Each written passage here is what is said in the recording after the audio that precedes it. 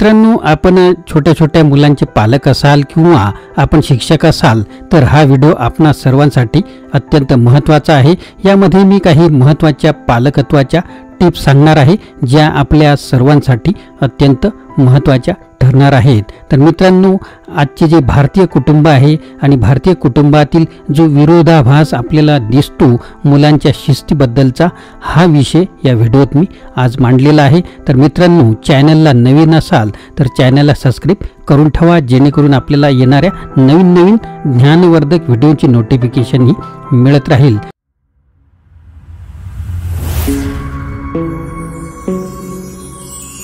नमस्कार मित्रांनो माझे नाव आनंद आहे आणि मराठी आनंद युट्यूब चॅनलमध्ये आपणा सर्वांचे स्वागत आहे. तर मित्रांनो आज भारतीय कुटुंबात बऱ्याचदा एक वेगळ्या प्रकारचा विरोधाभास दिसून येतो. तो म्हणजे मुलांना शिस्त लावण्यावर जास्त कष्ट घेतले जात नाहीत. पण मुलींना मात्र उठता बसता शिस्त शिकवली जाते चांगलं नीट वागण्यास सांगितलं जातं.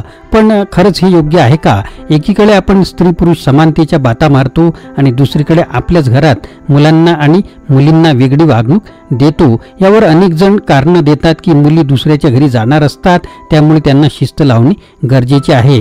पण या जगाच्या किंवा या ल लोकांच्या लक्षात ह्या गोष्टी येत नाहीत की आपल्या मुलाला जर योग्य शिस्त लावली नाही तर उद्या त्याची जोडीदार म्हणून जी स्त्री नांदेल तिला किती त्रास होईल? तर ह्या गोष्टी अपवादात्मकसुद्धा असू शकतात. एवढंच काय लहानचा मोठा होईपर्यंत सुद्धा ते मुलं किती बेफिकीर होईल म्हणून प्रत्येक पालकाने मुलींप्रमाणे आपल्या मुलांना देखील शिस्त लावली पाहिजे आणि एक चांगला माणूस म्हणून जगण्याची शिकवण ही दिलीच पाहिजे. आजच्या या विशेष व्हिडिओमध्ये मी तुम्हाला अशा काही गोष्टी सांगणार आहे ज्या तुम्ही तुमच्या मुलाला मुलींना तुम्ही शिकू शकता आणि आपल्या कुटुंब जे आहे ते सुखी करू शकता. तर त्याआधी मित्रांनो पालकत्वाचा पूर्ण अर्थ काय आहे हे आपल्याला माहीत असलं पाहिजे. तर मित्रांनो चॅनलवर नवीन असाल तर चॅनलला सबस्क्राईब करायला विसरू नका. चला पुढे आपण आता मुद्दे पाहूया. तर पालकत्व म्हणजे काय? तर मुलाचे आपल्या पालकांनी चांगले संगोपन करणे म्हणजे पालकत्व होते. पालक बनण्याची कृती किंवा प्रक्रिया म्हणजेच पालकत्व असे काही जण समजतात. पालकांच्या पद्धतीने एखाद्याची काळजी घेणे म्हणजे सुद्धा काही जण पालकत्व असं समजतात. पालकत्वाची चांगली संकल्पना नेमकी काय आहे? तुम्हाला सुद्धा हा प्रश्न पडला असेल तर पालकत्व जगभरातील पालकत्व पद्धती तीन प्रमुख उद्दिष्ट याच्यामध्ये सामायिक करतात. मुलांचे आरोग्य आणि सुरक्षितता सुनिश्चित करणे मुलांना उत्पादक प्रौढ म्हणून जीवनासाठी तयार करणे आणि सांस्कृतिक मूल्ये प्रसारित करणे निरोगी विकासासाठी उच्च गुणवत्तेचे पालक मुलाचे नाते हे अत्यंत महत्त्वाचे आहे. आपल्या आजच्या वेळेत आमचे बालपण एक चुकीचे क्षेत्र आहे. बालवृद्धी आपल्या आजच्या समाजातील एक महत्त्वाचा प्रश्न आहे. येथे आपल्याला काही पालकत्व सुचवण्यासाठी माझ्या काही छोट्या छोट्या काही मार्गदर्शक गोष्टी आहेत ज्या मी सर्च केलेल्या आहेत संकलित. केलेले आहे. तर मित्रांनो आपण कुठे राहतो आणि पालकत्व कशा पद्धतीचं आहे? जसं आपण मुंबई पुणे किंवा वर्दळीच्या मोठ्या मोठ्या शहरात राहत असाल किंवा खेडेगावात राहता किंवा मध्यम प्रकारच्या शहरामध्ये राहता यावरून सुद्धा मुले आणि पालक यांचं जे काही नातं आहे जे संगोपन असते हे कशा पद्धतीने असलं पाहिजे ह्या गोष्टीसुद्धा विचार करण्यासारख्या असू शकतात. तर एक एक मुद्दा आपण जरूर ऐका. प्रेमळ आणि सुखद वातावरण सादर करा. आपल्या मुलाला प्रेम द्या आणि एक प्रेमळ आणि सुखद वातावरण सादर करा. त्यांच्या साथी कूटबद्धतेच्या अनुभवांचा आणि मनोरंजनाच्या कार्यक्रमांचा सुद्धा अनुभव जरूर घ्या.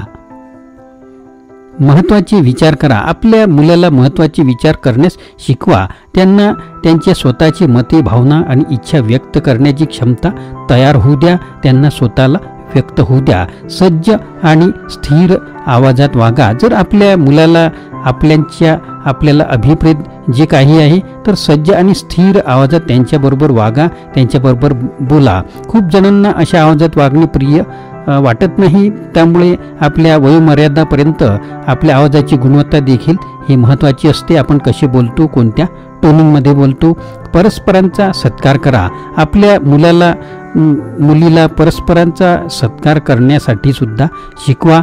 तुमच्या सामायिक आणि सामाजिक प्रवासामध्ये परस्पराच्या अनुभवांचा समावेश असू शकतो. प्रश्नांचा जो आहे योग्य वापर करा. आपल्या मुलाला अनुसंधान संवाद करण्यासाठी आणि त्यांची आकलन शक्ती वाढवण्यासाठी प्रश्न विचारण्याचे कौशल्य त्यांच्यात. विकसित करा ज्यामुळे स्वतंत्र विचार आणि त्यांचे सामर्थ्य हे प्रश्न विचाराची वाढू शकते.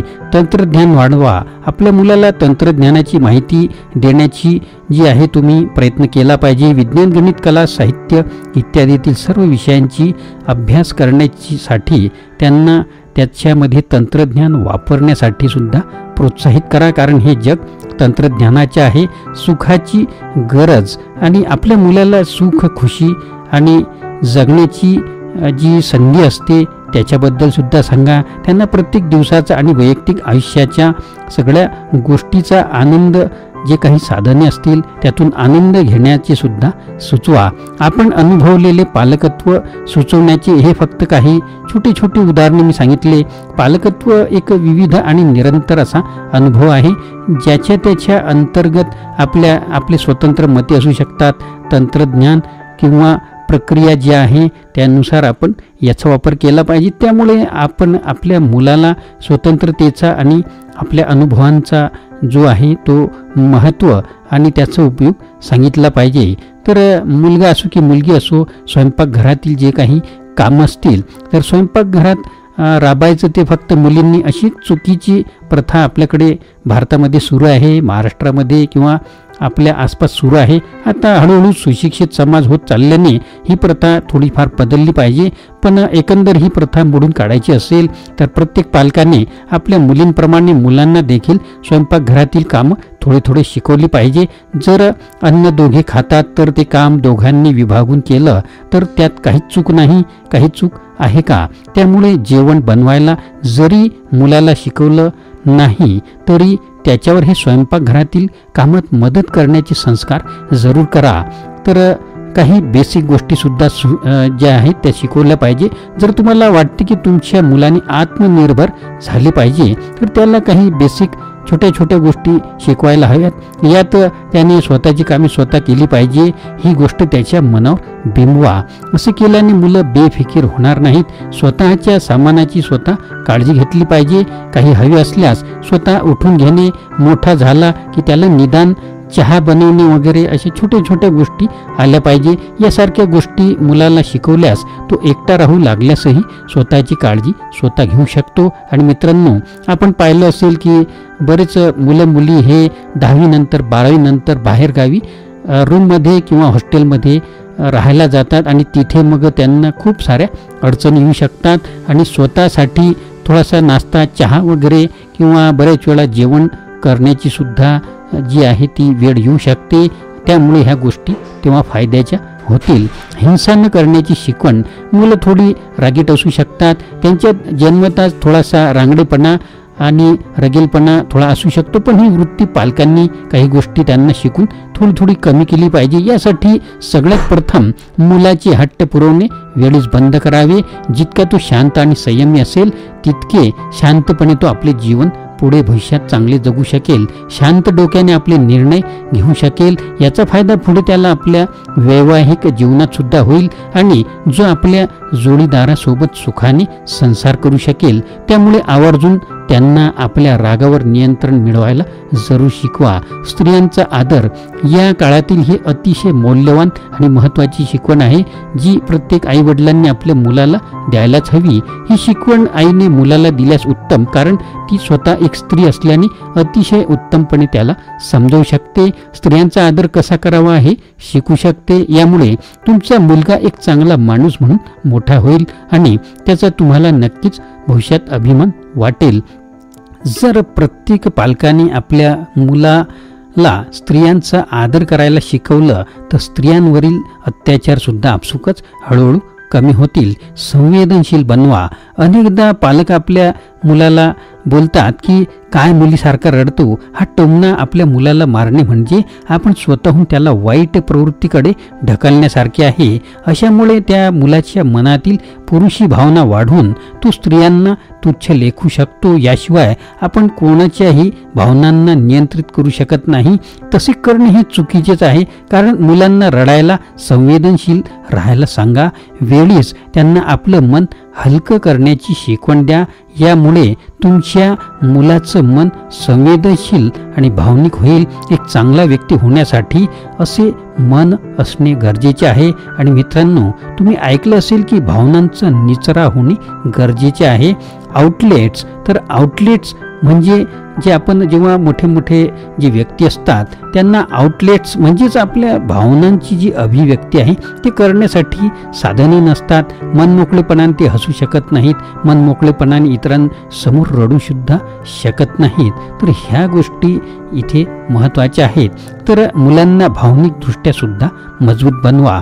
नकारात्मक गोष्टींमधून बाहेर येण्यासाठी मुलांना भावनिकदृष्ट्या मजबूत बनवा. आपण योग्य मार्गाने या रिजेक्शन किंवा नकारात्मकतेकडे मात कशी करू शकतो हे पालकांनी मुलांना समजून सांगायलाच पाहिजे. मुलांना भावनिकदृष्ट्या मजबूत बनवण्यासाठी पालकांनी त्यांना अशा प्रकारे मदत करायला हवी. मुलांना त्यांच्या भावना तुमच्यासमोर मनमोकळेपणाने व्यक्त करू द्या. ते हसू की रडो त्यांच्या छोट्या छोट्या गोष्टी तुमच्यासमोर व्यक्त होऊ द्या.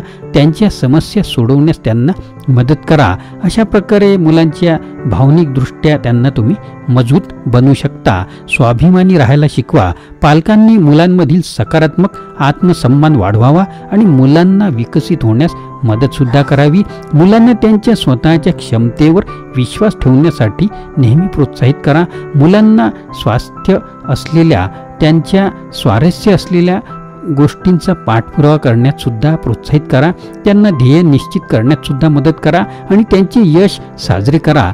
त्यांना मानसिकदृष्ट्या मजबूत बनवा जेणेकरून ते गुंतागुंतीला सामोरे जाण्यास शिकतील आणि लवकरच बरे होतील. तसेच त्यांनी त्यांची टीका किंवा नकार मनावर घेऊ नये आणि सकारात्मक राहावे अशी सुद्धा आपण शिकवण दिली पाहिजे.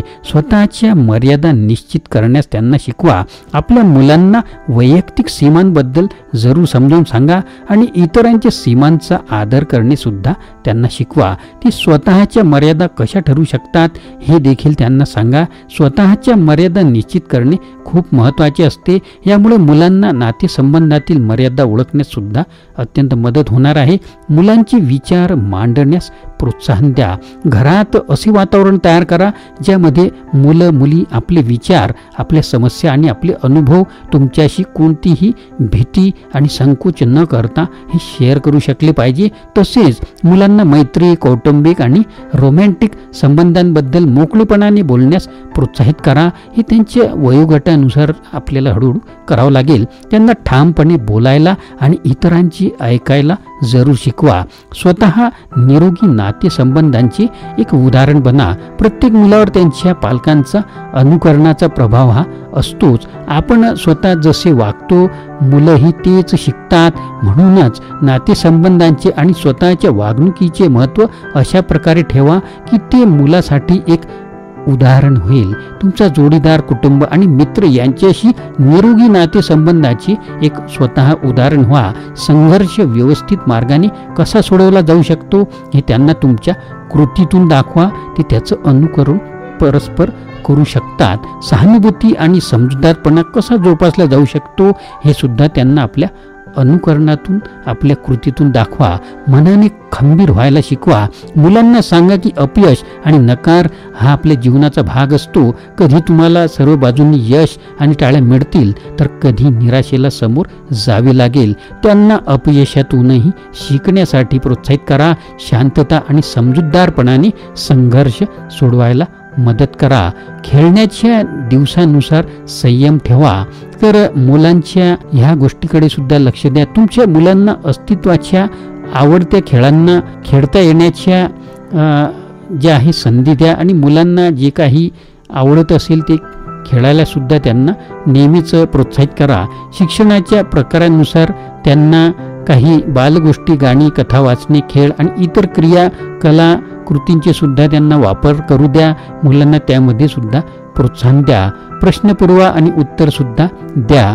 त्यानंतर उत्सवांच्या सणांवर त्यांना वेगवेगळ्या प्रकारची तयारी करू द्या. जसे की मुलांना उत्सवाच्या सणांची माहिती द्या आणि त्यांना उत्सवाच्या सणांसाठी वातावरणाची तयारी करा. त्यांना सणांसाठीच्या रांगोळी करण्यासाठी सुद्धा कृती करू द्या. नक्कीच त्यांना वेगवेगळ्या कलागुणांना मग प्रोत्साहन मिळणार आहे. तुमच्या मुलांना प्रेम द्या आणि त्यांच्या विचारांचे महत्त्व समजून घ्या. आपल्या मुलांना अनुभवांचा जे असते महत्त्व त्यांना तुम्ही ते समजून सांगा. मनातील आनंद आणि संतुष्टी हे अनुभवा आणि आपल्या मुलांनासुद्धा मनातील आनंद मनाची संतुष्टी काय असते हे सुद्धा त्यांना सांगा. तर मित्रांनो या सर्व गोष्टींचा वापर करून तुमच्या मुलांचे संपूर्ण विकास होण्यास मदत होईल आणि यात अजून काही गोष्टींची भर तुम्ही स्वतःसुद्धा टाकू शकता. यापूर्वी तुमच्या मुलांना वाढवण्याच्या कामामध्ये सुरुवात करताना तुमची मदत होईल आणि तुम्ही तुमच्या कुटुंबासह संपूर्ण आनंदाने जगण्यासाठी तुम्ही प्रयत्न जरूर कराल. तर मित्रांनो हा छोटासा व्हिडिओ पालकत्वाच्या टिप्स आपल्याला कसा वाटला नक्कीच एक लाईक एक शेअर एक कमेंट असू द्या आणि नवीन असाल तर चॅनलला सबस्क्राईब करायला विसरू नका. म्हणजे तुम्हाला येणाऱ्या चांगल्या चांगल्या व्हिडिओची नोटिफिकेशनही मिळत राहील. पुन्हा भेटूया अशाच प्रकारच्या आगळ्या वेगळ्या व्हिडिओमध्ये. धन्यवाद. मित्रांनो आपल्याला व्हिडिओ आवडल्यास लाईक करा शेअर करा सबस्क्राईब करा.